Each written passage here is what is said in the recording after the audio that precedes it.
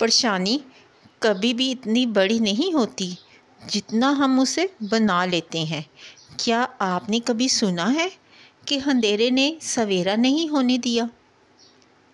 हज़रत मौलाली फरमाते हैं, जब कभी आपको अपने रिस्क में कमी नज़र आने लगे तो कुछ माल अल्लाह को देकर अल्लाह के साथ तजारत कर लिया करें। अपने दिन का आगाज़ सदका देने से करें उस दिन आपकी कोई दुआ रद्द नहीं होगी और अच्छी बात बताना भी सदका है। अच्छी बात लोगों को बताएँ और ज़्यादा से ज़्यादा अच्छी बात को फैलाएँ, क्योंकि ये भी एक सदका जारिया है। और इसमें जो भी अच्छी बात आपको बताए, उसको ज़्यादा से ज़्यादा आगे पहुँचाएँ।